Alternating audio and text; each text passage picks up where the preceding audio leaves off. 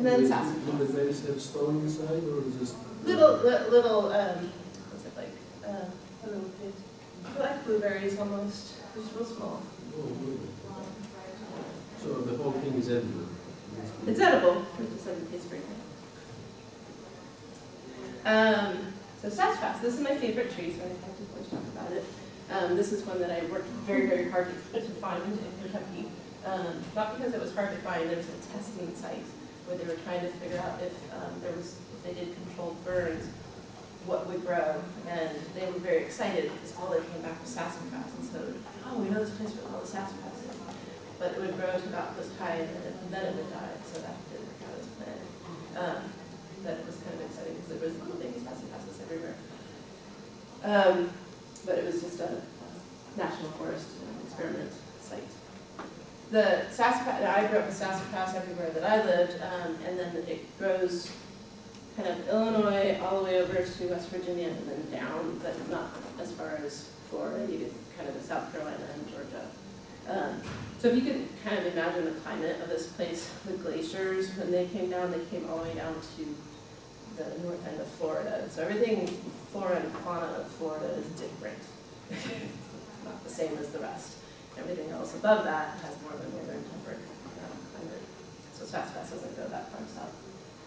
Sassafras, as I mentioned, was one of the plants that the um, incoming uh, ethnic groups uh, adapted to really well. The inner bark of a, a fresh sassafras bark is very mucilaginous. If you, if you powder it, it's called filé, you know? Um. Um, and that's what you would add to make gumbo as one thing you could add to make gumbo. Um, it's a great okra alternative, although now we have plenty of okra. But, um, so it's not used as much anymore. But that, the bark was used for cooking. Um, the outer bark of the roots has the traditional root beer scent to it, and flavor. Um, it, it, if you tasted it just in its, by itself, it's going to be bitter as well. So it's going to smell like root beer, but not. Our idea of root beer has changed because of root beer brand, A&W, but yeah, that's not root beer. But so our idea of root beer is uh, brown sugar and caramel color now, but then it was sassafras. So it smells like root beer. Um, it tastes a little like root beer. It's very drying and then bitter as well. And if you if you have a European philosophy uh, healing system, anything that's bitter and drying is going to be blood cleansing. So they used it, uh, as did the Cherokee, for um, what they would call blood building. Now remember I said we have low blood, blood, so that's where this blood building term came from, is that we are somehow changing the blood, which didn't mean truly blood, it meant the system of high blood, low blood. So we if we were building blood, the blood is deficient somehow.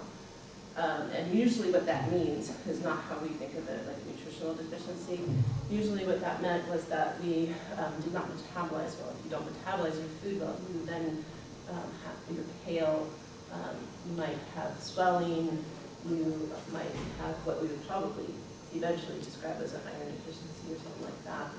Uh, but it could be any metabolism, metabolism error or um, deficiency. So your organ systems are basically congested and clogged in some way.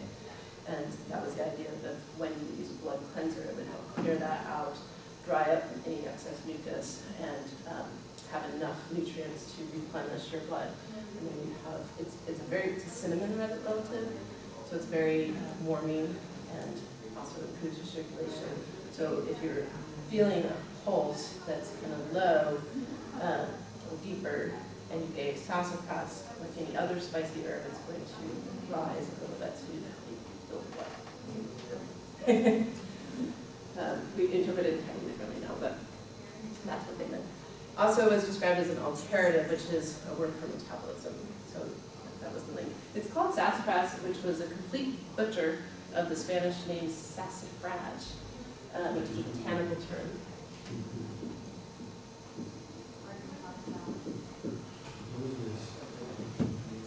So myster- mystery in the name, it's just a mispronunciation of the botanical term. The leaves look like uh, fig trees. Do they have the same kind of texture or, or the, the shape at least looks like a fig tree? No, the, the fig tree is a little glossier and thicker. Um, there is, one of the leaves looks like a fig tree, but the unique thing about the sassafras tree is it has three different leaf shapes. It has the elliptical leaf shape, a mitten leaf shape, and then a hand leaf shape. So that's always gonna be your sassafras, you'll know the tree by that. The bark is reddish, um, brown, and then of course, all you have to do is scratch the surface of the darker bark, either the root or the lower bark, and you'll smell the root here. The new tips, however, like this one, if I scratch the new tip bark, it smells like limes. I, some people say Froot Loops, but I say limes.